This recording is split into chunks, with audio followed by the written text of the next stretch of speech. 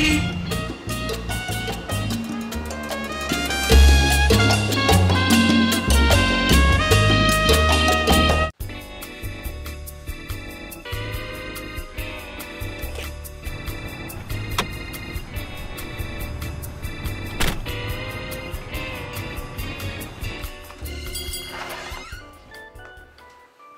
up, nerd? Dude, it's almost noon. Rose is looking for you. She is pissed. Rose is always pissed, man.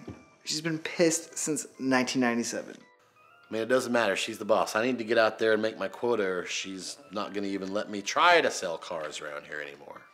I don't think you're trying, man. Have you tried trying? Have you tried using that hog? Have you tried using what God gave you? That hog. You just want to F off, and I need to get out there and sell some cars. Not F off. I have to fill my quota, or she's going to can me.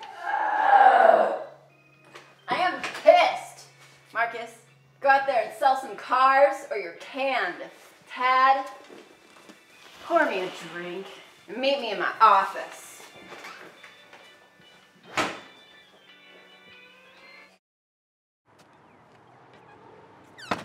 So did you did you seal the deal? No, no. I did. That's the smell of success. Oh, yeah. Very nice. Very professional. That's why I make the big bucks, man. Yeah. I just don't see uh, how you do what you do. It's confidence mainly.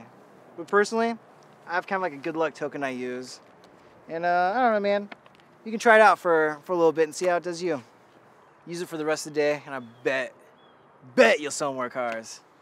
Bet. Okay. Hey, man, we got we got a live one. Um, can one of you guys show me this minivan? Oh yeah, I think that one would be perfect for you and the little guy. Oh, all right. Yeah. See.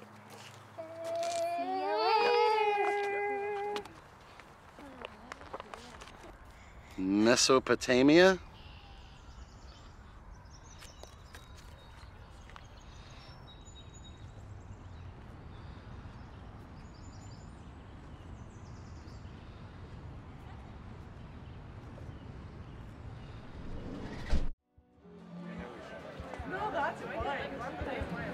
Mesopotamia.